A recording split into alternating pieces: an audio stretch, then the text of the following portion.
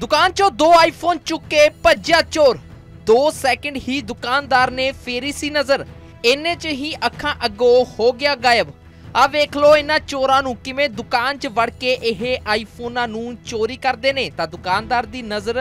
2 second ਦੇ ਲਈ ਓਲੇ ਹੋਈ ਸੀ ਤਾਂ ਇੰਨੇ 'ਚ ਹੀ ਇਹ ਚੋਰ ਆਈਫੋਨ ਚੁੱਕ ਕੇ ਫਰਾਰ ਹੋ ਜਾਂਦਾ ਹੈ ਤੇ ਸੀਸੀਟੀਵੀ ਦੇ ਵਿੱਚ ਵੀ ਇਹ ਵਾਰਦਾਤ ਕੈਦ ਹੋ ਜਾਂਦੀ ਹੈ। ਤਾਂ ਦੱਸ ਦਈਏ ਕਿ ਚੋਰ ਇੱਕ ਦੁਕਾਨ ਦੇ ਵਿੱਚ ਗਾਹਕ ਬਣ ਕੇ ਆਉਂਦਾ ਹੈ ਤੇ ਫਿਰ ਇਸ ਦੇ ਵੱਲੋਂ ਆਈਫੋਨ ਵਿਖਾਉਣ ਨੂੰ ਕਿਹਾ ਜਾਂਦਾ ਤਾਂ ਜਿਵੇਂ ਹੀ ਦੁਕਾਨਦਾਰ ਉਸ ਨੂੰ ਵਿਖਾਉਂਦਾ ਹੈ ਤਾਂ ਇਹ ਉਸ ਦੇ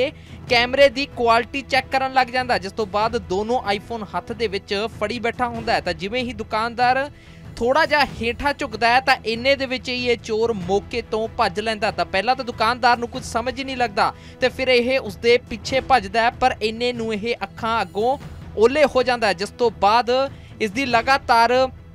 ਭਾਲ ਕੀਤੀ ਜਾ ਰਹੀ ਸੀ, ਤਾਂ ਇਸ ਦੇ ਵੱਲੋਂ ਇਸ ਚੋਰ ਦੀ ਪਹਿਚਾਣ ਵੀ ਦੱਸੀ ਗਈ ਤਾਂ ਜਿਵੇਂ ਹੀ ਇਹ ਚੋਰ ਇੱਕ ਦੁਕਾਨ ਤੇ ਇਨ੍ਹਾਂ ਮੋਬਾਈਲ ਫੋਨਾਂ ਨੂੰ ਵੇਚਣ ਗਿਆ ਤਾਂ ਮੌਕੇ ਤੇ ਦੁਕਾਨਦਾਰ ਦੇ ਵੱਲੋਂ ਇਸ ਦੀ ਪਹਿਚਾਣ ਕਰ ਲਈ ਗਈ ਤੇ ਫਿਰ ਪੁਲਿਸ ਦੇ ਵੱਲੋਂ ਇਸ ਨੂੰ ਕਾਬੂ ਵੀ ਕਰ ਲਿਆ ਗਿਆ। ਤਾਂ ਦੱਸ ਦਈਏ ਕਿ ਮਾਮਲਾ ਫਤਿਹਾਬਾਦ ਤੋਂ ਸਾਹਮਣੇ ਆਇਆ ਹੈ, ਜਿੱਥੇ ਸਾਰੀ ਵਾਰਦਾਤ ਹੋਈ ਤਾਂ ਸੀਸੀਟੀਵੀ ਕੈਮਰੇ ਦੇ ਵਿੱਚ ਵੀ ਕੈਦ ਹੋਈ ਸੀ ਤਾਂ ਲਗਾਤਾਰ ਇਸ ਚੋਰ ਦੀ ਭਾਲ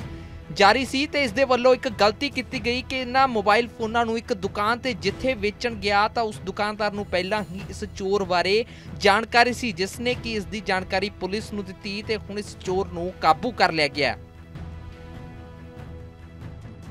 ਦੁਕਾਨ 'ਚੋਂ ਦੋ ਆਈਫੋਨ ਚੁੱਕ ਕੇ ਭੱਜਿਆ ਚੋਰ। 2 ਸੈਕਿੰਡ ਹੀ ਦੁਕਾਨਦਾਰ ਨੇ ਫੇਰੀ ਸੀ ਨਜ਼ਰ। ਇੰਨੇ 'ਚ ਹੀ ਅੱਖਾਂ ਅੱਗੋਂ ਹੋ ਗਿਆ ਗਾਇਬ। ਆ ਵੇਖ ਲਓ, ਇਹਨਾਂ ਚੋਰਾਂ ਨੂੰ ਕਿਵੇਂ ਦੁਕਾਨ 'ਚ ਵੜ ਕੇ ਇਹ ਆਈਫੋਨਾਂ ਨੂੰ ਚੋਰੀ ਕਰਦੇ ਨੇ। ਤਾਂ ਦੁਕਾਨਦਾਰ ਦੀ ਨਜ਼ਰ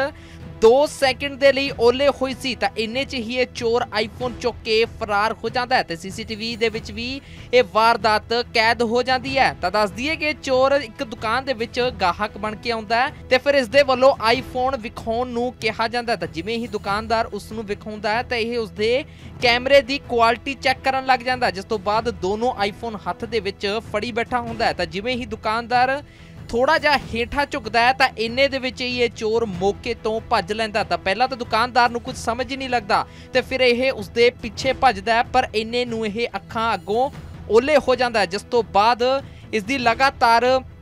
ਭਾਲ ਕੀਤੀ ਜਾ ਰਹੀ ਸੀ, ਤਾਂ ਇਸ ਦੇ ਵੱਲੋਂ ਇਸ ਚੋਰ ਦੀ ਪਹਿਚਾਣ ਵੀ ਦੱਸੀ ਗਈ ਤਾਂ ਜਿਵੇਂ ਹੀ ਇਹ ਚੋਰ ਇੱਕ ਦੁਕਾਨ ਤੇ ਇਹਨਾਂ ਮੋਬਾਈਲ ਫੋਨਾਂ ਨੂੰ ਵੇਚਣ ਗਿਆ ਤਾਂ ਮੌਕੇ ਤੇ ਦੁਕਾਨਦਾਰ ਦੇ ਵੱਲੋਂ ਇਸ ਦੀ ਪਹਿਚਾਣ ਕਰ ਲਈ ਗਈ ਤੇ ਫਿਰ ਪੁਲਿਸ ਦੇ ਵੱਲੋਂ ਇਸ ਨੂੰ ਕਾਬੂ ਵੀ ਕਰ ਲਿਆ ਗਿਆ। ਤਾਂ ਦੱਸ ਦਈਏ ਕਿ ਮਾਮਲਾ ਫਤਿਹਾਬਾਦ ਤੋਂ ਸਾਹਮਣੇ ਆਇਆ ਹੈ, ਜਿੱਥੇ ਸਾਰੀ ਵਾਰਦਾਤ ਹੋਈ ਤਾਂ ਸੀਸੀਟੀਵੀ ਕੈਮਰੇ ਦੇ ਵਿੱਚ ਵੀ ਕੈਦ ਹੋਈ ਸੀ ਤਾਂ ਲਗਾਤਾਰ ਇਸ ਚੋਰ ਦੀ ਭਾਲ ਜਾਰੀ ਸੀ ਤੇ ਇਸ ਦੇ ਵੱਲੋਂ ਇੱਕ ਗਲਤੀ ਕੀਤੀ ਗਈ ਕਿ ਇਹਨਾਂ ਮੋਬਾਈਲ ਫੋਨਾਂ ਨੂੰ ਇੱਕ ਦੁਕਾਨ ਤੇ ਜਿੱਥੇ ਵੇਚਣ ਗਿਆ ਤਾਂ ਉਸ ਦੁਕਾਨਦਾਰ ਨੂੰ ਪਹਿਲਾਂ ਹੀ ਇਸ ਚੋਰ ਬਾਰੇ ਜਾਣਕਾਰੀ ਸੀ, ਜਿਸ ਨੇ ਕਿ ਇਸ ਦੀ ਜਾਣਕਾਰੀ ਪੁਲਿਸ ਨੂੰ ਦਿੱਤੀ ਤੇ ਹੁਣ ਇਸ ਚੋਰ ਨੂੰ ਕਾਬੂ ਕਰ ਲਿਆ ਗਿਆ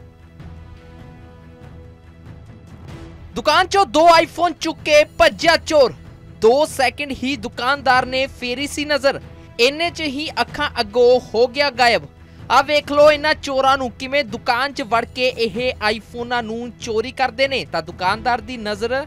2 ਸੈਕਿੰਡ ਦੇ ਲਈ ਓਲੇ ਹੋਈ ਸੀ ਤਾਂ ਇੰਨੇ 'ਚ ਹੀ ਇਹ ਚੋਰ ਆਈਫੋਨ ਚੁੱਕ ਕੇ ਫਰਾਰ ਹੋ ਜਾਂਦਾ ਹੈ ਤੇ ਸੀਸੀਟੀਵੀ ਦੇ ਵਿੱਚ ਵੀ ਇਹ ਵਾਰਦਾਤ ਕੈਦ ਹੋ ਜਾਂਦੀ ਹੈ। ਤਾਂ ਦੱਸ ਦਈਏ ਕਿ ਚੋਰ ਇੱਕ ਦੁਕਾਨ ਦੇ ਵਿੱਚ ਗਾਹਕ ਬਣ ਕੇ ਆਉਂਦਾ ਹੈ ਤੇ ਫਿਰ ਇਸ ਦੇ ਵੱਲੋਂ ਆਈਫੋਨ ਵਿਖਾਉਣ ਨੂੰ ਕਿਹਾ ਜਾਂਦਾ ਹੈ। ਤਾਂ ਜਿਵੇਂ ਹੀ ਦੁਕਾਨਦਾਰ ਉਸ ਨੂੰ ਵਿਖਾਉਂਦਾ ਹੈ ਤਾਂ ਇਹ ਉਸ ਦੇ ਕੈਮਰੇ ਦੀ ਕੁਆਲਿਟੀ ਚੈੱਕ ਕਰਨ ਲੱਗ ਜਾਂਦਾ ਹੈ, ਜਿਸ ਤੋਂ ਬਾਅਦ ਦੋਨੋਂ ਆਈਫੋਨ ਹੱਥ ਦੇ ਵਿੱਚ ਫੜੀ ਬੈਠਾ ਹੁੰਦਾ ਹੈ। ਤਾਂ ਜਿਵੇਂ ਹੀ ਦੁਕਾਨਦਾਰ ਥੋੜਾ ਜਿਹਾ ਹੇਠਾਂ ਝੁਕਦਾ ਹੈ ਤਾਂ ਇੰਨੇ ਦੇ ਵਿੱਚ ਹੀ ਇਹ ਚੋਰ ਮੌਕੇ ਤੋਂ ਭੱਜ ਲੈਂਦਾ ਤਾਂ ਪਹਿਲਾਂ ਤਾਂ ਦੁਕਾਨਦਾਰ ਨੂੰ ਕੁਝ ਸਮਝ ਹੀ ਨਹੀਂ ਲੱਗਦਾ ਤੇ ਫਿਰ ਇਹ ਉਸਦੇ ਪਿੱਛੇ ਭੱਜਦਾ ਪਰ ਇੰਨੇ ਨੂੰ ਇਹ ਅੱਖਾਂ ਅੱਗੋਂ ਓਲੇ ਹੋ ਜਾਂਦਾ ਜਿਸ ਤੋਂ ਬਾਅਦ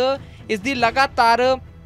ਭਾਲ ਕੀਤੀ ਜਾ ਰਹੀ ਸੀ, ਤਾਂ ਇਸ ਦੇ ਵੱਲੋਂ ਇਸ ਚੋਰ ਦੀ ਪਹਿਚਾਣ ਵੀ ਦੱਸੀ ਗਈ ਤਾਂ ਜਿਵੇਂ ਹੀ ਇਹ ਚੋਰ ਇੱਕ ਦੁਕਾਨ ਤੇ ਇਹਨਾਂ ਮੋਬਾਈਲ ਫੋਨਾਂ ਨੂੰ ਵੇਚਣ ਗਿਆ ਤਾਂ ਮੌਕੇ ਤੇ ਦੁਕਾਨਦਾਰ ਦੇ ਵੱਲੋਂ ਇਸ ਦੀ ਪਹਿਚਾਣ ਕਰ ਲਈ ਗਈ ਤੇ ਫਿਰ ਪੁਲਿਸ ਦੇ ਵੱਲੋਂ ਇਸ ਨੂੰ ਕਾਬੂ ਵੀ ਕਰ ਲਿਆ ਗਿਆ। ਤਾਂ ਦੱਸ ਦਈਏ ਕਿ ਮਾਮਲਾ ਫਤਿਹਾਬਾਦ ਤੋਂ ਸਾਹਮਣੇ ਆਇਆ ਜਿੱਥੇ ਸਾਰੀ ਵਾਰਦਾਤ ਹੋਈ ਤਾਂ ਸੀਸੀਟੀਵੀ ਕੈਮਰੇ ਦੇ ਵਿੱਚ ਵੀ ਕੈਦ ਹੋਈ ਸੀ ਤਾਂ ਲਗਾਤਾਰ ਇਸ ਚੋਰ ਦੀ ਭਾਲ